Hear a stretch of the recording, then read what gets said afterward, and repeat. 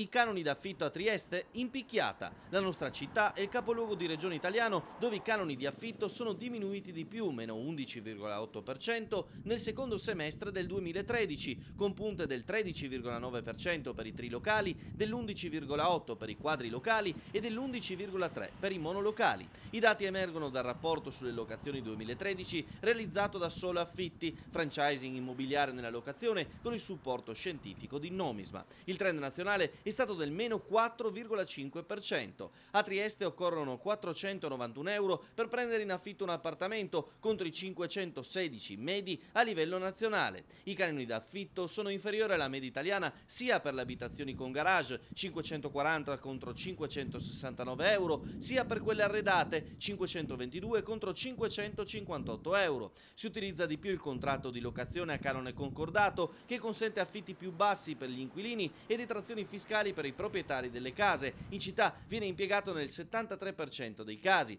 I triestini che scelgono la casa in affitto come abitazione sono pochi, però il 18% contro il dato italiano del 46%. Per trovare una casa in affitto ci vogliono due mesi contro i 2,6 a livello italiano. Gli inquilini triestini alloggiano nello stesso appartamento in media per due anni.